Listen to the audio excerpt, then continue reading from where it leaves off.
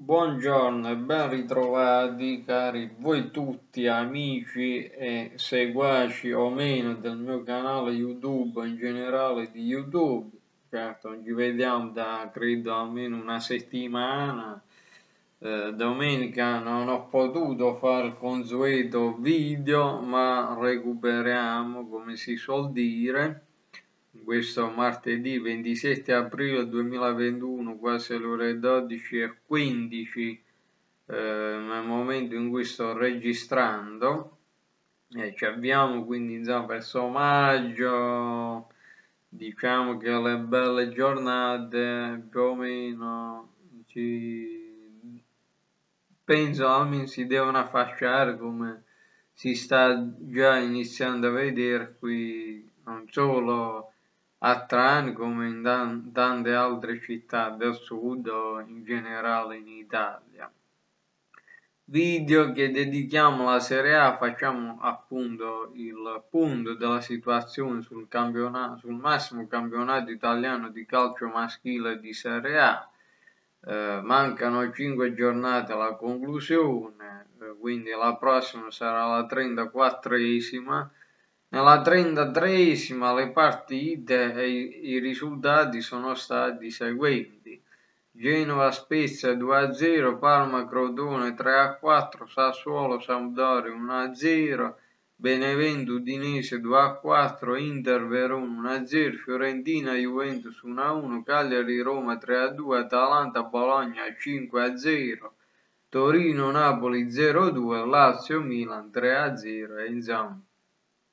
io che sono appunto tifoso milanista, ma se l'è meritata tutta la sconfitta il Milan perché è una squadra che non può permettersi, anche se potrebbero avere le dovute ragioni che hanno iniziato la stagione da, dalla fine estate per il preliminare di Europa League, ma un calo vertiginoso che il Milan rischia veramente di uscire dai primi quattro posti della Champions per la prossima stagione agonistica. Prossima giornata, oh, come di consueto, spalmata in tre giorni abbiamo il primo maggio alle 15 Verona Spezia alle 18 Crotone Inter alle 20 e 45 Milan Benevento. Il 2 maggio anticipo delle 12 e mezza Lazio Genova alle 15 Bologna Fiorentina Napoli Cagliari Sassuolo Atalanta alle 18 Udinese Juventus alle 20 e 45 Sampdoria Roma e poi credo il 3 che dovrebbe essere lunedì che coincide per me che sono cittadino di Trani con la eh, festa solenne al crocefisso di Colonna Monday Night Torino Parma 20.45 ricordiamo che in virtù del fatto che in finale di Coppa Italia sono arrivate due squadre che comunque sono di piazzamento Champions League e cose varie, anche il settimo posto è buono per un piazzamento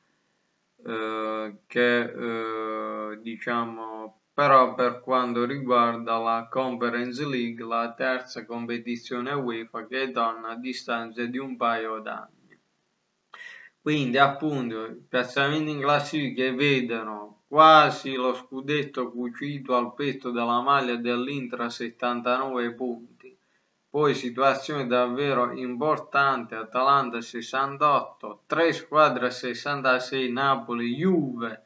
e Milan che però occupa il posto Europa League secondo KO di filo, quindi insomma